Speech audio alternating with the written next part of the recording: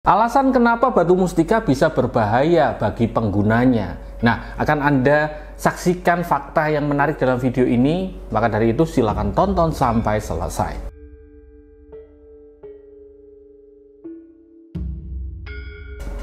Assalamualaikum warahmatullahi wabarakatuh. Alhamdulillah senang sekali bisa menyapa sedulur semuanya. Sesuai yang saya sampaikan bahwa batu mustika itu layaknya seperti rumah rumah itu kalau tidak dirawat dengan benar ya yang jadi penghuninya tidak akan betah. Sama seperti batu mustika. Suatu energi di dalam batu mustika akan awet ketika Anda merawatnya. Nah kenapa atau apa hubungannya?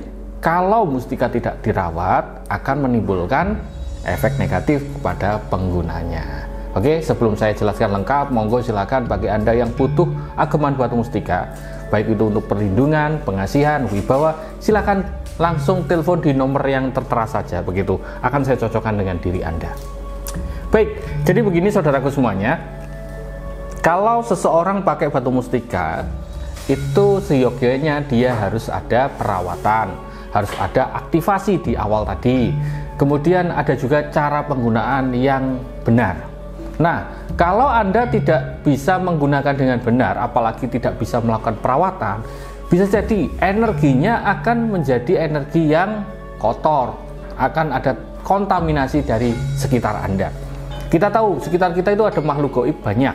Kalau mustika Anda Anda diamkan, tidak kalian rawat dengan benar, tidak ada perawatan dengan minyak misik yang betul, maka energinya jadi negatif. Negatif akan berakibat buruk bagi penggunanya. Maka alasan kenapa sih mustika itu bisa berakibat buruk? Ya tadi alasannya Anda tidak bisa perawatan dengan benar. Nah, cara perawatan dengan benar bagaimana? Sudah sering saya upload di video sebelumnya. Nah, bagi Anda yang mungkin butuh bimbingan menggunakan minyak perawatan yang betul, saya menyediakan minyaknya. Kalau Anda berkenan langsung telepon di nomor yang tertera saja.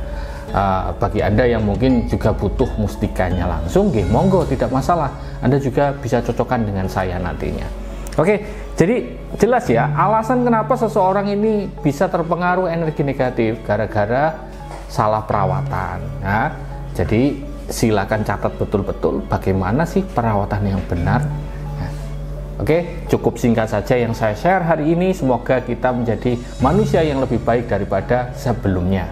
Semoga yang saya share juga ini menjadi manfaat yang luar biasa. Sekian dari saya. Wassalamualaikum warahmatullahi wabarakatuh.